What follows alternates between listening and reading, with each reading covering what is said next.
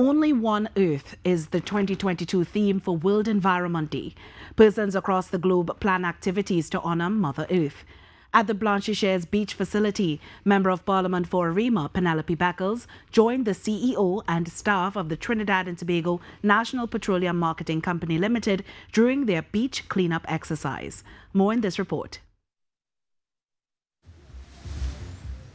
Armed with garbage bags and a love for the environment, staff of the state owned Petroleum and Marketing Company commemorated World Environment Day on Sunday with the aim of raising awareness to the adverse effects our actions as human beings are having on the health of the planet. MP Penelope Beckles joined the initiative and urged persons to be responsible. This is an important exercise. I mean, World Environment Day allows us to do some reflection, some reflection on the choices that we make, uh, the consequences of those choices, especially as it relates to plastics, how it impacts negatively on the fishes and on what we eat, um, and how it is really detrimental overall to the society and the world at large. CEO of NP, John Gormandy, said people need to become more aware of what their actions are doing to the environment and to do something about it now.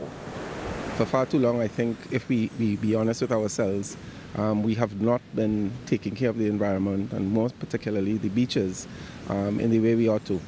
Uh, so we would have created today, um, developed this activity through our staff and through the department uh, to come out today, um, giving up their personal time and effort uh, to come and you know get this, this beach cleaned up and you know paying particular attention to the plastics which continue to be one factor that is really detrimental to, to the environment. World Environment Day is the largest international day for the environment. Commemoration of the day has been led by the United Nations Environment Programme since 1973 and has grown, inspiring positive change in the treatment of environmental issues.